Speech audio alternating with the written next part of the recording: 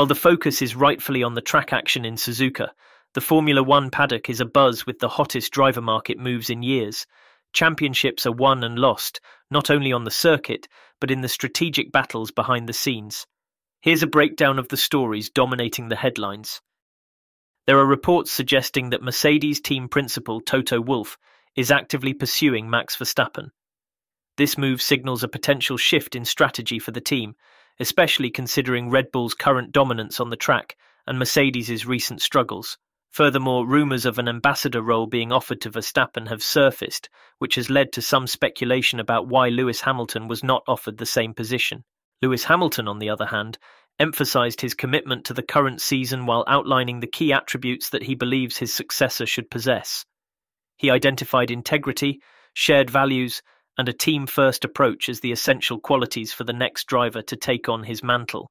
Some observers interpreted this as a veiled criticism of Fernando Alonso's reputation for ambition and experience. However, Hamilton has expressed his support for the idea of Sebastian Vettel returning to the sport, which could reignite the classic rivalry between the two drivers and bring Vettel's winning mentality back to the grid. Will Mercedes find a winning strategy or will their bold moves backfire? Max Verstappen's recent comments on the possibility of Fernando Alonso joining Red Bull have raised eyebrows. The Dutchman cited Alonso's age and Red Bull's history of nurturing young talent as reasons against the move. This could be interpreted as a sign of uncertainty from the reigning champion, who may be concerned about the potential internal tensions that Alonso's arrival could bring.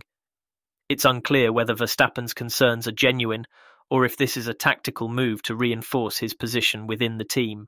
However, one thing is clear Fernando Alonso may be the only driver whom Max Verstappen sees as a genuine threat. As his Mercedes performance falters, Hamilton admits the inevitable. Talks with Toto Wolff about his transition to Ferrari are on the horizon. His emphasis on finishing the season strong hints at internal tensions, though the excitement for his new era in red is palpable.